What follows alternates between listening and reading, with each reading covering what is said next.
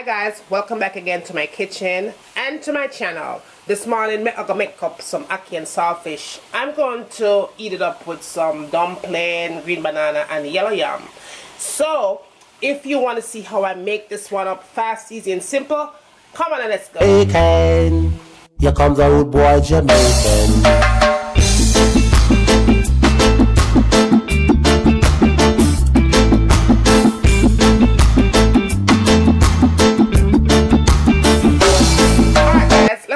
Ackee. I have my Grace ackee right here and it is in salt water. Now you want to rinse it off. Make sure you test your ackee if you buy it in the can because sometimes you have to boil it before you actually cook it. Some depend on the brand but this one is ready to cook. Alright. I'm going to be also adding some sweet pepper to that. Chopped onion. A little pinch of hot scotch bonnet pepper. Some garlic and a pinch of thyme. Now to spice it up, I'm going to add some black pepper, my salt-free season. I'm going to use salt-free season because the salt saltfish have salt in it. I mean, I want it kind of like salt, but if you want it salty, don't add that. Add the regular seasoning salt to spice it up. I'm also going to add some paprika as well. Now that is my saltfish. My saltfish is already prepped. What I did, I soaked this one overnight if you don't want to go through all of that, you just go ahead and wash it really good and boil it like two times. Boil it the first time, you throw off the water. You boil it the second time, you throw off the water, and then you will have saltfish looking just like that. That is boneless saltfish. I'm going to use my banana and my yellow yam. So that is all. Wait, what else did I miss? Yeah, I miss one thing. I'm going to use vinegar because Juliana does not cook without vinegar. So Come on and let's go. Okay guys, I'm moving on to my very, very first step. I have my oil in my pot. I'm to fire it up on medium heat. I'm to put my to add my onions.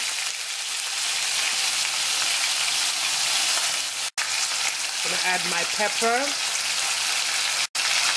My garlic. And some thyme.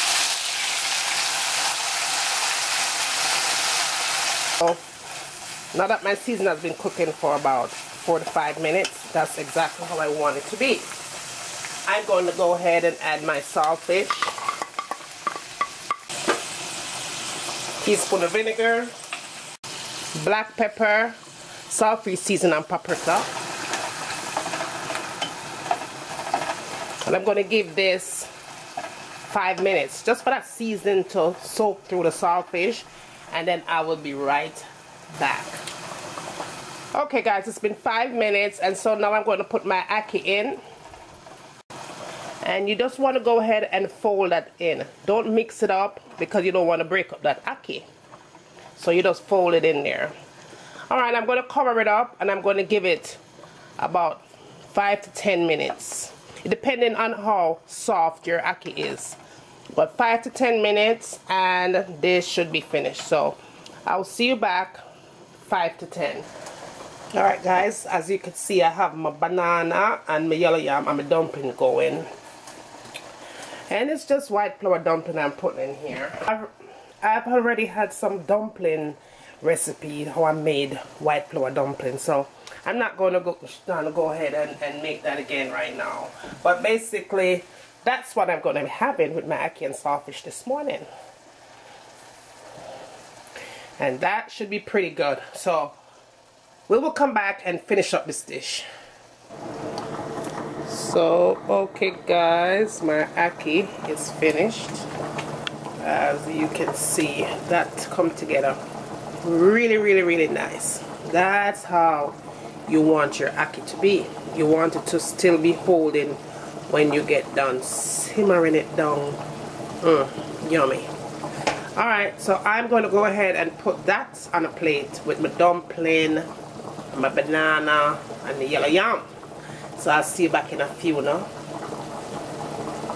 there you have it guys. Nice hot and ready to eat ackee and saltfish which I'm going to have with yellow yam, green banana, and dumpling. That's flour dumpling. so yeah that is yummy. That is my sunday dinner and that's just how we do it in our kitchen here at how to cook us yeah. So i hope you like this recipe. Don't forget to like subscribe share share share. Let me know what you like to see me cooking next in my kitchen. And as always from my kitchen to your kitchen enjoy i'm gonna let this cook for a good 30 minutes on medium heat. Cover it up nice and make it simmer. And when it's done simmer, a time we eat. So see you back okay, in a guys, few minutes. So this is in with your foundation, full coverage. You know, like bam. And last but not least, the last thing I tend to go for in my makeup collection is this palette right here. Let me show you what this baby looks like. It has a whole bunch of concealers. I believe it's $10 for this palette.